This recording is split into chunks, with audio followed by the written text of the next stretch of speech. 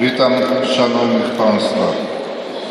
Przede wszystkim chciałbym zaznaczyć, że z ogromną radością przyjąłem informację o inicjatywie nadania publicznemu gimnazjum w Wadowicach Górnych imienia Leszka Tepły.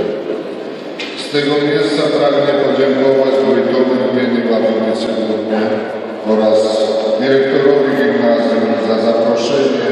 uczestnictwa w Komitecie Honorowym Uroczystości. Jest mi niezmiernie miło być tu obecnym razem z Państwem i członkami rodziny, rodziny świętej pamięci Pana Leszka.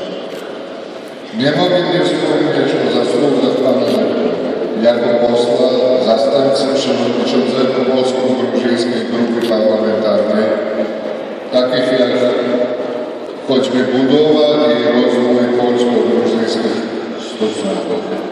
wzmocnienie kontaktów między regionami i wiele innych, za których w 2011 roku został pośmiertnie odznaczony przez prezydenta Gruzji gruzińskim ordenem honoru. Mam nadzieję, że uczniowie gimnazjum pod skrzydłami patrona szkoły nabiorą nową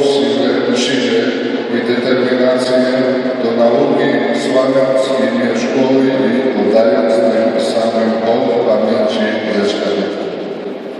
Raz jeszcze dziękuję Państwu, wójtowi dyrekcji gimnazjum, komitetowi organizacyjnemu oraz rodzinie Pana Depły za wspaniałą inicjatywę i uroczystość.